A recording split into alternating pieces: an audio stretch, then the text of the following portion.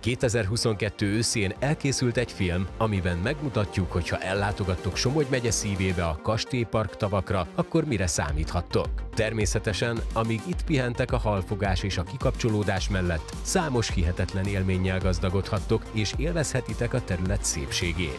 Két nap, két tó. Pontyhorgászat a kastélypark tavakon, itt a Fishing and Hunting csatornán.